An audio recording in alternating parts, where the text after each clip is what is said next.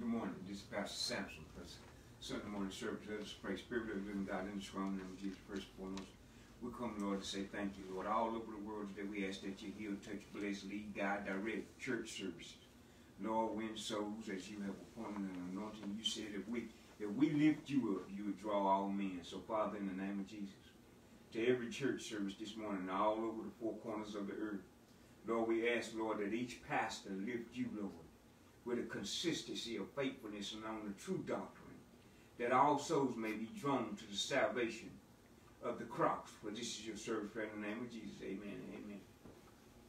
We want to look at and we want to start in Psalms the 23rd chapter. We want to come from the understanding that it is now time that man get understanding from God's word. Uh, God's word is, is, is, is a footprint, a guideline, a direction for what God wants man to do. But we need to get an understanding that in man and in woman there is a place called the soul. I'm going to start off at Psalms 23. Psalms 23 is titled the, the Lord the Lord is my shepherd. And then by the time we get to the third verse, he makes a profound statement. It says, He restoreth my soul. But just before he gets there, he said, The Lord is my shepherd. He said, The Lord is my shepherd. I shall not want. He maketh me to lie down in green pastures. He leadeth me. We want, we want to put emphasis. He leadeth me. He's my shepherd. He's directing me. He's leading me. And he's wanting me to understand as my shepherd, as he gives me rest, he's dealing with a place within man and woman called the soul. And that place within man and woman called the soul. If the soul is right with God, if the soul has been made peace with God, inside man, not the outside, we're not talking about the flesh, we're not talking about the world, we're not talking about Satan, we're talking about the soul which is life that God breathed into man. And he became a living being. If the soul has made it right with God, man or woman can be right with anybody else. If the soul has recognized and built a relationship with God, there is nothing, not money, not poverty, not life, not death, nothing can take that away from the man or the woman that possessed the understanding of that the soul that was given and breathed out of the mouth of God into the man or into the woman to give them what you call life, if that soul is being restored by God, and you truly have an understanding that that is the place within man or in woman that nothing, nothing, nothing, nothing in the universe, not Satan, not flesh, not the world, nothing can touch man or woman. Not worration, not demons and devils, not how much money you got, not how you look, not color, what, what, what color your skin is. Nothing can touch man when the inside of man, called the soul, has been right with God. We need to stop right there and Selah. You know, uh, uh, through the history of the years, and I don't know for how many years, uh, but through the history of the years, at this time of the year, we always celebrate black history. And we hear about black history, and we have the programs, but let's really look at where the rubber meets the road. I'm talking to you as a pastor freed from not because I don't have shackles or not because I've never been beaten. I'm, I'm, I want to talk to you from the aspect of being spiritually free. I want to talk to you from the aspect of Travis Sampson knowing God Almighty through a relationship in his soul and understanding that when I'm right with God, the world and time and anything can bring anything it wants to bring. But when I'm right with God in my soul and I got a relationship with God in my soul, anything can come to try to pull me down. But I realize that according to Acts 5.39, that the thing about it is that when I'm for God and God is for me, ain't nothing can overthrow it. There's nothing can overthrow the God in me. So when my soul has come to a place in God, that it does not have to be double-minded. When my soul has come to a place in God that I realize that it is being restored and now that I have a relationship, I can talk to God, walk with God, be with God. In the presence of God not only abides in me, but I abide in it. In my soul, when my soul has that kind of revelation and re relationship with God, I come to a place called there, and that place called there is called contentment. So whatever the world brings, in my understanding and me knowing God and God knowing me, it cannot touch the inner being of me because it belongs to God. We want to talk this morning. None of us today, I was talking about black history. None of us have felt what it was like to stand in chains to pick cotton or be beaten with a whip. And, and there was a professor called Willie Lynch. And Willie Lynch was made to, was given the right to turn the, the, the Negro slaves at the time of the Emancipation Proclamation, he had the, the, the, the task of turning them against each other. In other words, we got to turn them loose, but we want them bound. But then Willie Lynch began to travel the countryside. And he began to look, and when he went back to make his second observational speech to the, to the, to the slave masters, he went back and he told them, he says, I, I've seen a fear in these people. But he said, yet and still when they are oppressed, depressed, the more you oppress them, the more you press them down, he said, there's one thing that I find that there's something on the inside of them that that I can't seem to wrap my mind around that the more you oppress them and depress them, there's something on the inside that looks like it's got to do with a faith and it's got to do with a hope. He says that when you oppress them and you depress them to the point that that faith and that hope rises up.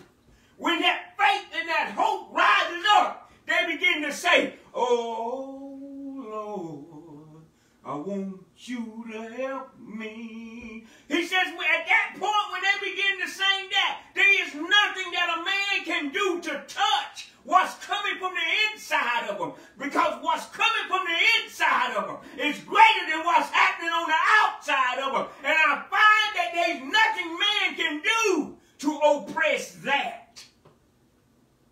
I'm here to explain to you this morning that when we look back every now and then at our ancestors, and we look back at how they found freedom in the midst of slavery, I'm here to tell you it was in God. It was that they had and they got an understanding in their souls of their mind, an understanding and a relationship of who God was. No matter what's on the outside, I can shut the outside out. And I can realize that there's a God on the inside of me, giving me a faith and a hope that I can do better and there is better. And that one day, that old song says, Oh Lord, I want you to help me, that one day He's going to do just that. But until I come wake up under the oppression and the depression, I'll stand with a faith and a hope coming from the inside of me that I'll shut out what's happening to me on the outside because I put my focus on God above and I won't put my focus on what I'm standing in, what I'm living in, what I'm bound to. I'll put my soul with a relationship with the God of heaven and that's where my focus will be. Because if I focus on what's going on around me, it'll be overbearing for me to carry. I brought this up because I want you to understand that there's always been places in the Bible that God has always told people, no matter what situation you were in, I want you to know I'm with you. So when you get understanding, the understanding is that every soul came from God. Ezekiel 18.4 says all souls come from God.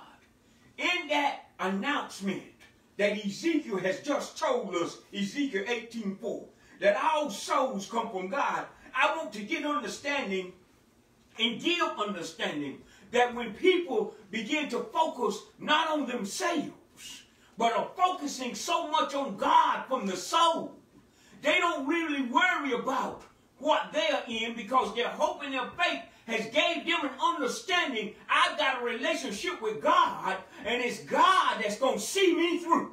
So now, no matter what I'm going through, I'm not going to look at what I am. I'm going to plan for others. When you look at the Harriet Tubmans, the Harriet Tubmans was established with a hope and a faith, not only for the free herself. Not only did she want freedom, but she wanted freedom for everybody else. So she didn't look up with a hope and a faith in, in the relationship she had with God. She looked up with a hope and a faith, not only for a relationship with the love of God, but she looked up for a hope and a faith in what I can do for my neighbor.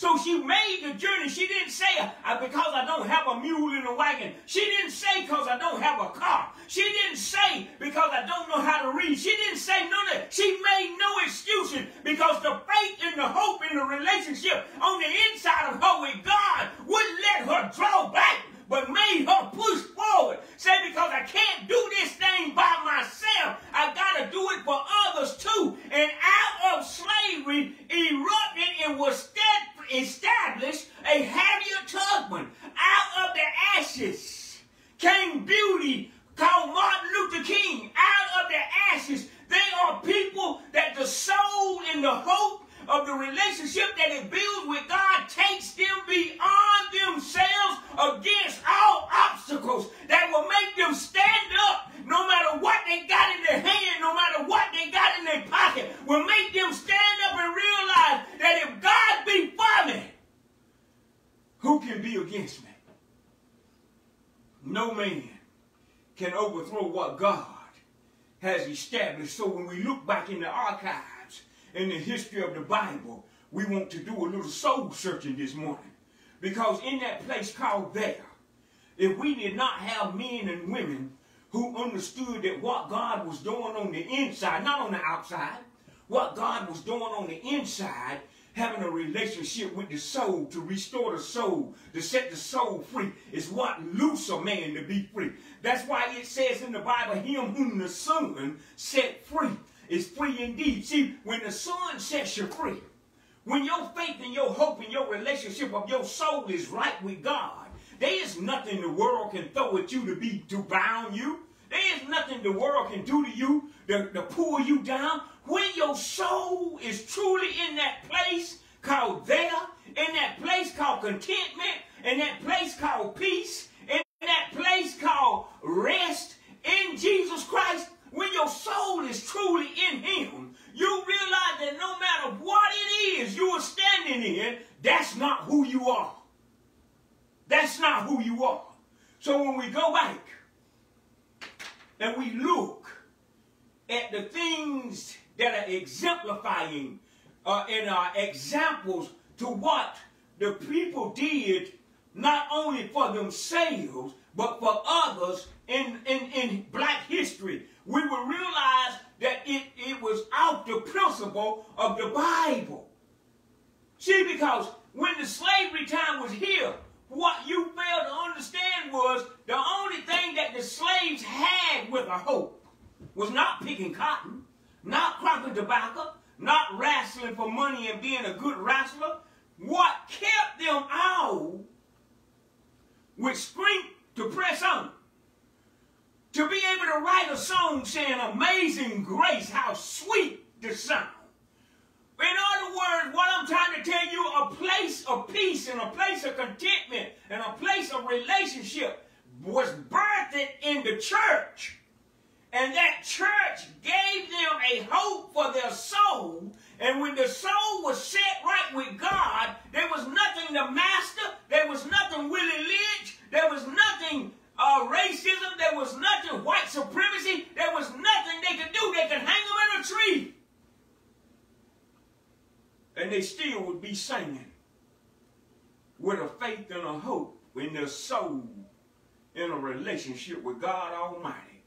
and there was nothing they could do to snuff it out. We've come this way by faith, leaning on the everlasting God.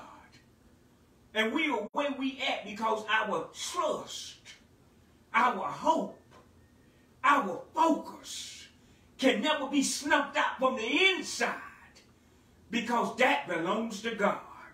It don't matter what man does. If God be for you, if God is in you, ain't nothing can snuff that out because you have a commitment because the peace that is with him and working in us to be in him is greater than anything the world can dish out to you. So when we go back and we look in the archives of the Bible and some renowned men of God that God chose that also had a inner peace with God, that also knew and had an understanding of what God was trying to do. Also had a relationship as they served God against all obstacles. We want to read a couple of high points.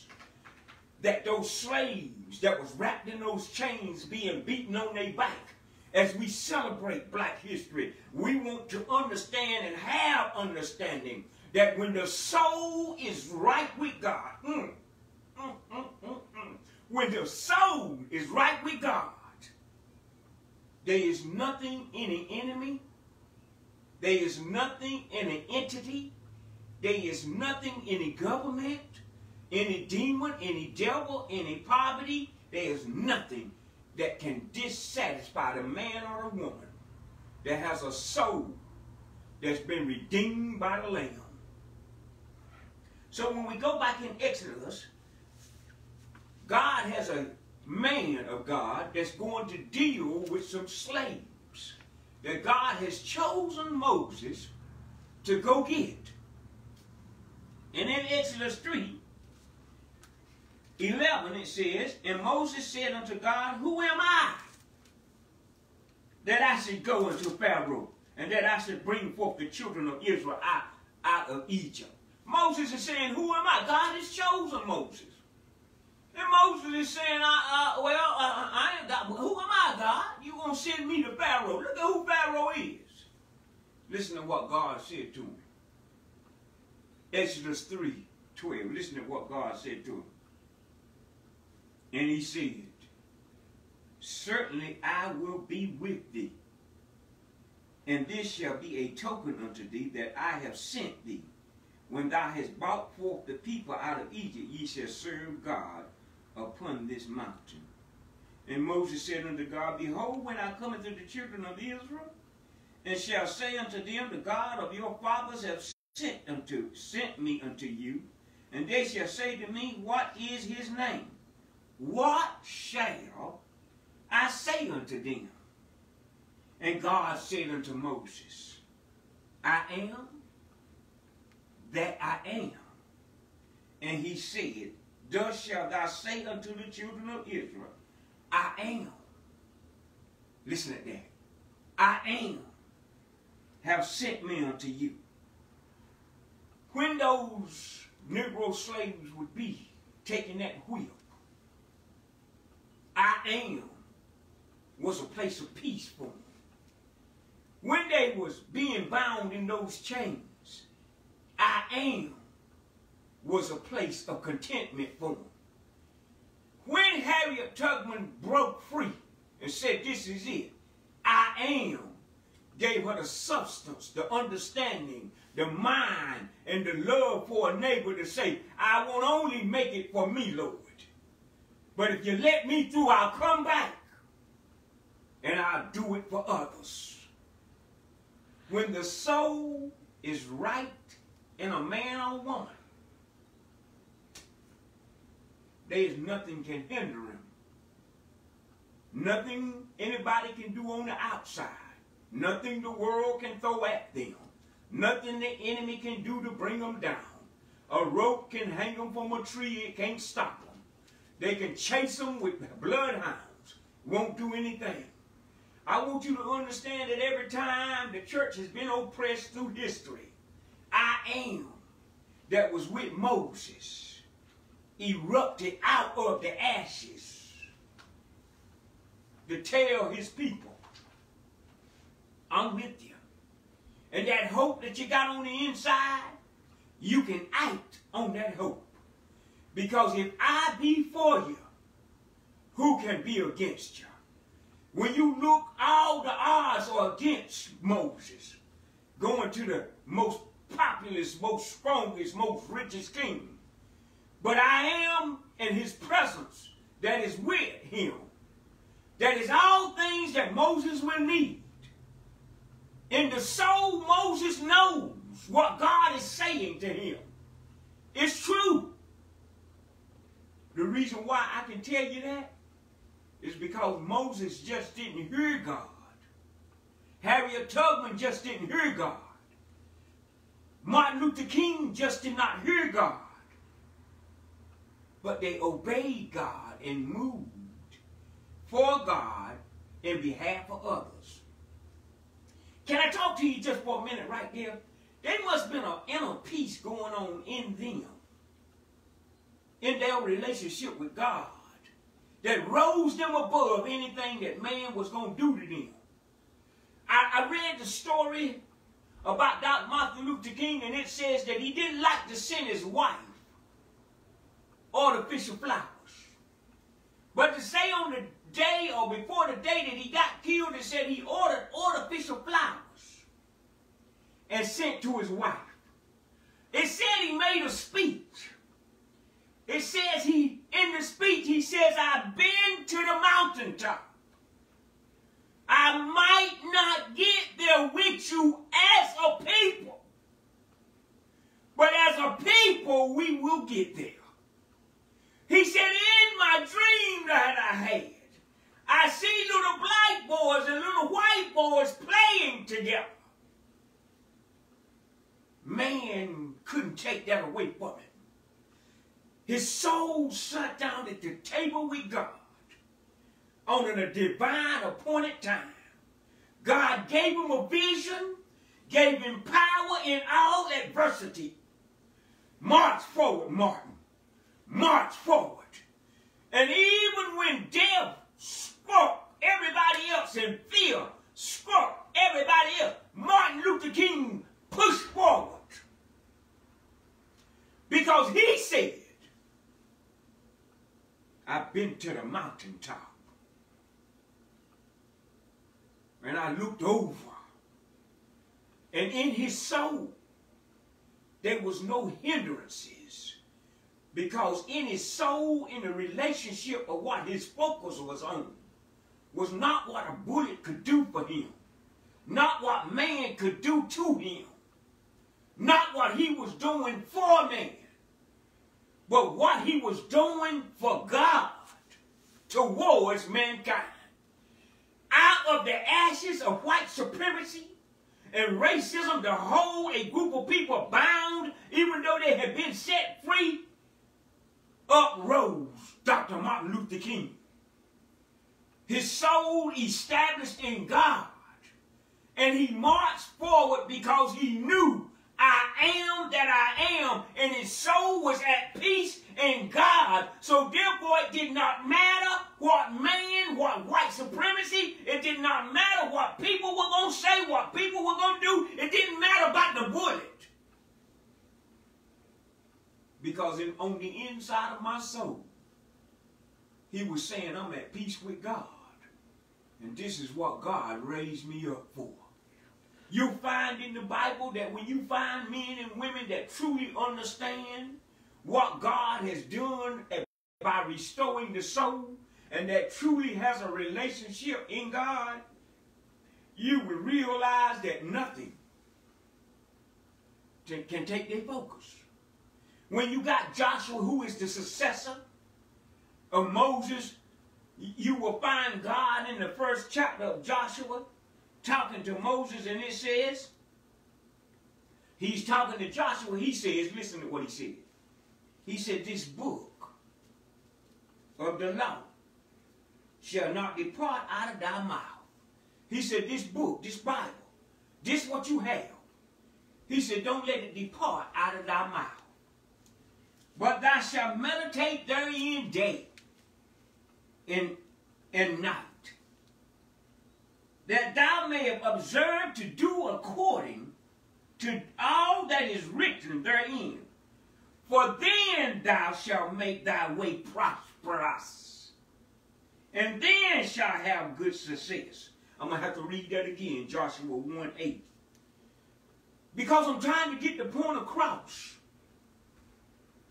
that when a person is focusing on who God is, when a person's soul has recognized the purpose of God for the soul, when that, when that soul has reached a place of love and heart, soul, mind, and strength, when that soul in that man or that woman has realized that what God says is not a lie. Numbers 23, 19, he's not a man that he should lie. If he said it, he will bring it back. If I am that I am is with you, what in the world can be against it? There are so many Christians on this journey that focuses on things on the outside instead of focusing on the Spirit of God and what God is doing on the inside to try to bring that man, to try to bring that woman to a place of contentment, to try to bring that man or that woman to a place of peace, to try to bring that man or that woman to live beyond what they are in and beyond who they are and beyond what they see, to always focus on the God of the universe that is trying to restore, trying to have a relationship, trying to build a personal relationship with that soul that he placed on the inside of their body called flesh. Because if he can build a relationship with the soul, the soul, the heart and the mind, will bring the flesh, the world, and Satan under the authority of God Almighty. And nothing, nothing can fight against that peace that's on the inside of that person male or female, that finds rest in God Almighty. This is just a couple of places I'm going to stop by to give you an understanding. That everybody don't have the understanding of that God is dealing with the soul, and if the soul gets right, if the soul is being restored, if the soul understands who God is, if the soul will let God lead, direct, edify, build on oh, the soul. The soul can bring the man or the woman into an inner peace where nothing matters except my focus, which is on God Almighty. And Him being I am that I am, meaning all things whatever I need. Because Peter will back me up. Peter says in 2 Peter 1 3, he said, whatever is needed according to life and whatever is needed according to godliness comes through your knowledge of Jesus the Christ. I'm thinking some years back when there was slavery in the field, that it was so oppressing, so depressing, that they, in their minds, they had to find that place. We are free. We've never had whips on our bikes. We've never had chains on our legs. We are free. And we can't find the understanding of the place that the slaves found. That when they wrote, oh Lord, I want you to help me. Oh Lord, come by here, Lord. Come by here. I need you, Lord. When they found that, they were singing to God out of a relationship of peace on the inside of them that nothing could squash out. Amazing grace was birthed from the ashes. These Negro, old Negro hymns was birthed from ashes. It was birthed from the ashes of oppression and depression on the outside. That something beautiful rose up from the inside. And man had nothing to do with it. It was God rebuilding the soul of man, giving them faith, hope, and a new vision for themselves. So I'm going to read this again. Because the principle of what I'm talking to you about is based off the Bible. It's based off of what God would do for a man when he sends a man like Harriet Tubman, when he sends a man like Martin Luther King, when he sends the people that, will relate to God in the soul. There are groups of people that God used down through the history after slavery to birth different things, not for themselves, but for their people. We get hold of God and we get understanding that we got God for ourselves, but we don't understand that love your neighbor thing, it, it, it, it's a must. Because Christianity demands that when your soul find peace, that you lead others to peace. Let me say that one more time. Christianity is not something that's a spectator sport. It's not somewhere you go. It's a reality of who you be.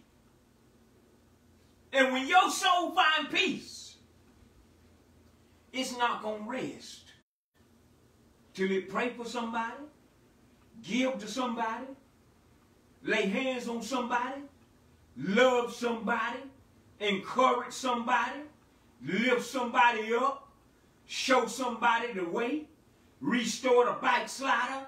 When your soul finds itself right with God, you're not going to sit down and say, I got it. Because Christianity has a power called zeal, Z-E-A-L, that's going to make you push your love for your neighbor because love is no good kept to itself. Love is only good when it travels to a person or a group of people. Jesus' love was not just for himself. The Bible says in John 3.16 that his love was sent to move the world. So don't tell me that you're a Christian but you ain't got no love to even move for yourself. See, because this is perilous times. If your love is not moving because of the color of somebody's skin, if your love is not moving because of the church you go to, you're not really on Christianity, you're on a spirit of error, but we're not going to touch that right now. We want to understand what it is when you truly have a relationship, truly have an understanding, truly have been edified, truly have the knowledge, the wisdom, and have gotten understanding of what it means when a soul truly has touched the love and the hymn of God Almighty. We want to talk about that because if I don't get nothing else across, I need for you to understand there is nothing like when your soul is right with God, I don't have to worry anymore. I take my burdens and pack them up daily. And I take them to the table of God. And I lay my burdens down and leave them there. The, late, the songwriter says, burden down, Lord. Burden down. He laid his burden down on God's table. Didn't have to carry them himself.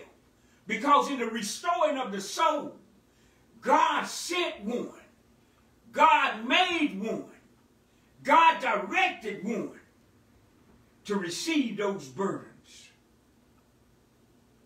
So when we sit and we don't understand truly what it means to have peace made with God in the soul, we allow Satan and the world and flesh to steal our very identity. Because when you know something in the soul, can't nothing take it. Can't nothing take when you know something in the soul. You'll notice that when God sent Moses or Gideon, that when God sent Joshua, you will notice that even in terrible times, their focus was never on themselves, each time that they came up against an obstacle, they would run to the presence of God. And when they would run to the presence of God, God would give them a vision of what he had given them in the soul. He asked Moses one time, he said, you need a bridge, Moses? Why are you talking to me? What did I put in your hands, Moses? What's in you? And Moses turned around, stretched out his staff, and said, Behold, the power of the Lord. God had placed in Moses, God had placed in Joshua, God had placed in Gideon, God had placed in David, God is placed in you, God is placed in you, God is placed in you himself the part that says I am that I am. Not only has sent me this morning to you, but has sent himself for you to receive so that in the soul that he wants to restore, you will know him like Moses, like Gideon, like Joshua, like David, like Daniel, like Samson. He wants you to know him and that in him and in the relationship with him, there is peace, contentment. And you don't have to worry about what the world is throwing at you. Going to switch gears here in a minute, but I'm going to show you something. I'm going to read it one more time. This book, look at it. This book of the law shall not depart out of thy mouth. This book, he only had five books then. This book of the law shall not depart out of thy mouth, but thou shalt meditate therein, thou shalt meditate therein, thou shalt meditate therein day and night, that thou mayest observe to do according to all that is written. He said, I want you to meditate day and night, that you may do all that is written. Why, Lord? For then thou shalt make thy way. For then thou shalt make thy way. For then thou shalt make thy way prosperous. And then shalt, and then thou shalt have good success. And then thou shalt have good success. We're going to turn on. We're going to go to Judges.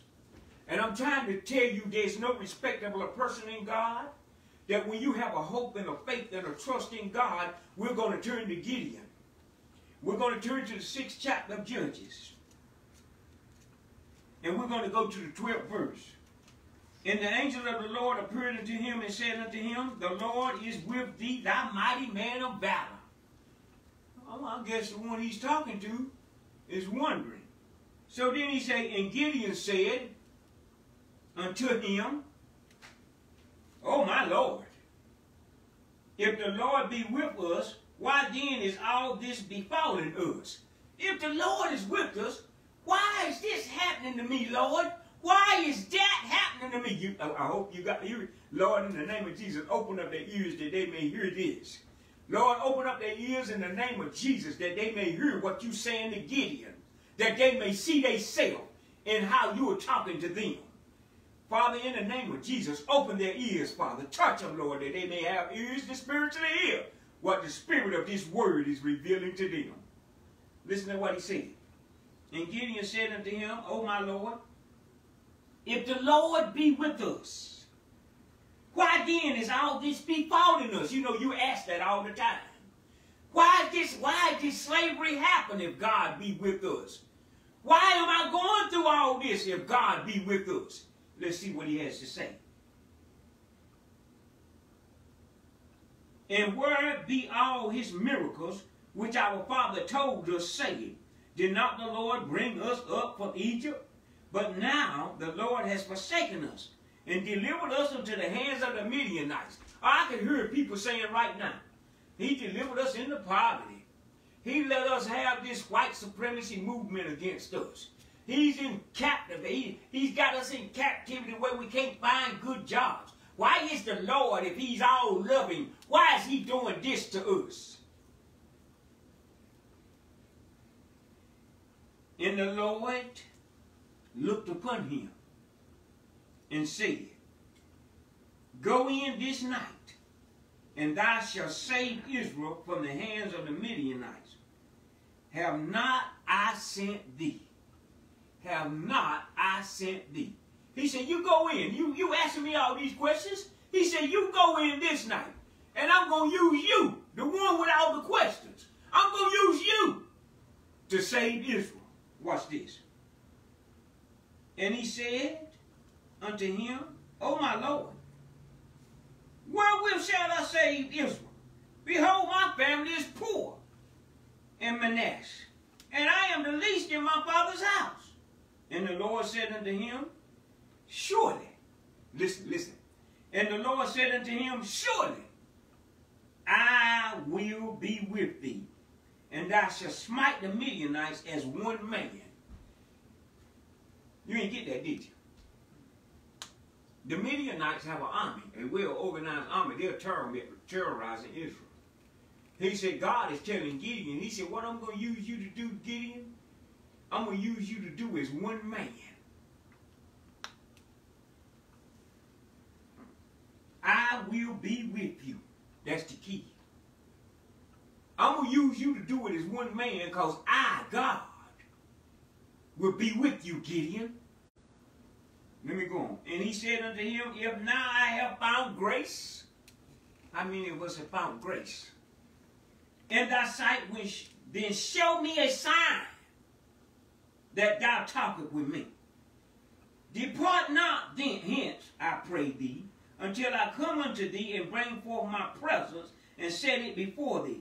And he said, I will tarry until thou come again. This is a representative that when God is with you, you are a minority. You're a majority. When God is with you, you're a majority. Because God is telling Gideon that my presence with you, Gideon, is going to be as one, if you are fighting as one man. Let us turn to Acts 5.39. I want to show you something. In Acts 5.39, and when your soul has found peace with God, when your soul is at rest in God, and that's what that's where your identity is. Because you can have nothing from God unless your belief. Double-mindedness does not. See, see, when you are in a valley, like our slave ancestors, where they got nothing but oppression and depression, when it's forcing you to find that place, when it's forcing your soul to look beyond the position that it's in, when it's forcing your soul to focus on who God is and not on what you are in, you will find that place because you got because you got nothing left. So you're grasping and you're reaching for a peace beyond yourself because what you are in is captivating.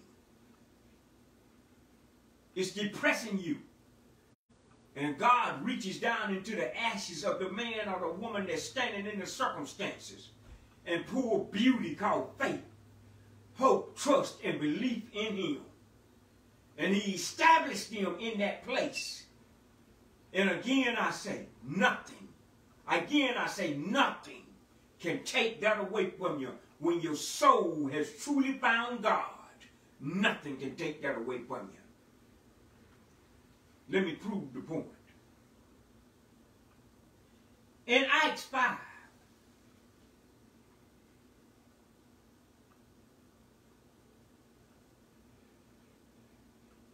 we're going to go 38. And now I say unto you, refrain from these men and let them alone. For if this counsel of this work be of men, it will come to naught. If what they were doing was of men, it will come to naught the oppression and the depression, the white supremacy, when God said we're supposed to love our neighbor, it don't matter what color it is. As we celebrate black history, we need to understand that whatever man is intending, it's going to come to naught because God is going to find final say-so. But if you can get hold to this next passage in your soul right now, if you can let your hearing have understanding right now. From this for, from this time forward, marching forward, if you can understand what God in the acts of the apostle is been to taste say to your soul, if you can let this wrap around your heart, your soul, and your mind, you can march forward with a smile on your face, with peace beyond understanding and contentment, understanding that he who cares for you, that if he be for you, nobody can be against you. So when I read this, I'm going to read it three times for the Father, the Son, and the Holy Spirit. Because I want you to understand that if your soul is in the right place with God, everything will be all right. If your soul is in the right place with God, he's already got it worked out. If your soul is in the right place with God, there'll never be any more put on you than you can bear. You don't have to be like a thermometer. You don't have to be up.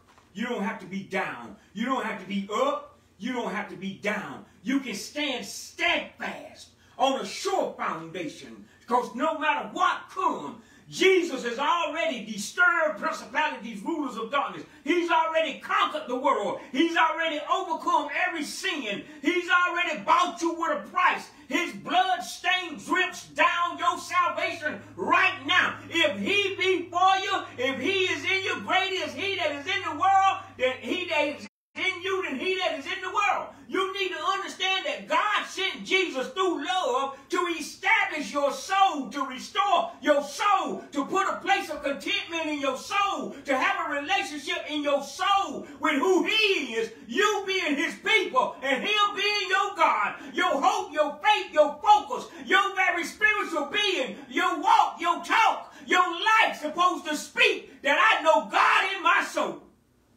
because I'm content. So when you look, if you never knew this scripture, you need to write it down. Because let me tell you what God said. But if it be of God, ye cannot overthrow it. Let me read it one more time. But if it be of God, ye cannot overthrow it. Let me read it one more time. But if it be of God, ye cannot overthrow it. Least half-heartedly, ye be found even to fight against God. Let me read one more time. But if it be of God, you cannot overthrow it. Let me turn back to what he told Joshua from there. And he told Joshua, this book of the law shall not depart out of thy mouth, but thou shalt meditate therein day and night, that thou mayest observe to do according to all that it is written therein. For then shall for then thou shalt make thy way prosperous, and then thou shalt have good success. I hope them two scriptures can sink in. Because down through the history, down through the history, the understanding that I was caught up in something that was overwhelming me. God wanted me to understand that He is my originator. God wanted me to understand as my originator he wanted me to get understanding to obtain. He wanted me to gain possession, to reach, to obtain, to bring oneself into a condition equipped, dressed, and empowered in their possession. That getting understanding. He wanted me to be equipped. He wanted me to be dressed. And he wanted me to have the power in my possession that's why he told me to get understanding, because when I get understanding, I will meditate on his word day and night. And she will make my way prosperous because she will clothe me. She will equip me. She will dress me. She will empower me. She won't leave me trying to acquire. She will leave me having possession of. And that when you understand, when Proverbs 1 5 said, a wise man will hear and will increase in learning. And a man of understanding shall obtain unto wise counsel. What the slaves did, they did not look at the counsel of the masters. They looked at the counsel of God. And they took into possession in their souls. They took stripes on their back. But in the possession of their soul, they was equipped, they was dressed, and they was empowered in the possession of spiritual things of God. So when they beat them on the outside, it will overtake the pain on the outside because the, the greater thing for coming from the soul on the inside will smother out what was happening to the natural because the spiritual rose them up out of the miry clay, brought from ashes beauty to have a new hope and have a new outlook and not worry about what I'm going through right now, but to press on to get to the mark of the high calling. I'm not going to worry about what the world's trying to bring me to worry about. I'm not going to worry about what the bills is saying. I'm not going to worry about what Satan is trying to show me. I'm not going to worry about what man says about me. I'm not going to worry about what my bank account looks like. My kingdom, where I'm from, being that Isaiah 9, I'm the increase of the government of God. My substance, where I come from, my way is prosperous because I meditate in my soul day and night on the Word of God. And me meditating on the Word of God and it directing my path is what makes me prosperous, is what makes me content. As God restores my soul, I keep coming to new levels of peace. I keep coming to new levels of hope. I keep coming to new levels of faith. I keep coming and standing on that Christ, the solid rock I stand. I keep understanding that if God be for me, there is nothing that can overthrow whatever it is that I'm in because his presence walks with me there. So therefore, I, I came to tell you this morning, with all our getting, we need to get understanding and be equipped, dressed, and empowered in the restoring of our soul to at least have what the slaves had because we've never felt the whip. We've never felt chains around our legs. And we think that what 2021 and what 2021 is doing is, is catastrophic.